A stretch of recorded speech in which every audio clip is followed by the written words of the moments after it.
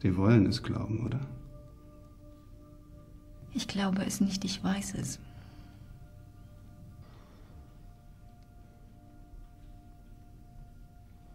Wenn man zu sehr an einer Sache festhält, verliert man leicht den Überblick.